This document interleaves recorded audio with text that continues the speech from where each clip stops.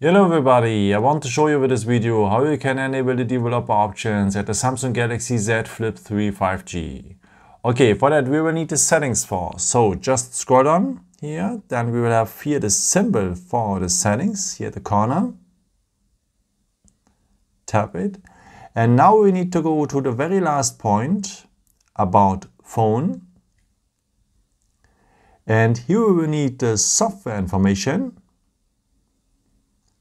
so, and here we will need the build number and we have to tap that build number now for seven times.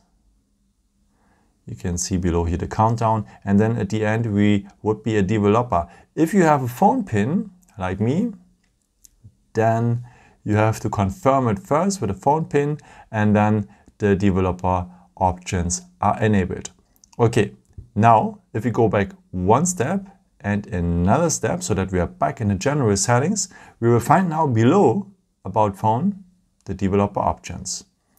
So, and now we can do all the stuff we wanted to do, maybe to enable the USB debugging or the stay awake mode or so many else.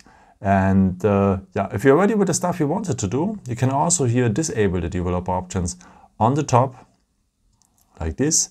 And if you go back now, you will see that there are no more the developer options below about phone.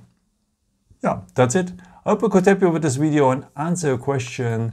And uh, yeah, maybe if you want, you can leave me a nice comment or give me something that would be very helpful for my videos. Uh, thank you so, so much for. And uh, yeah, uh, I've created also some other videos if you're interested in, or maybe just subscribe me if you haven't done it before. Uh, thank you so, so much for all your support. And yeah, maybe until next time. Ciao.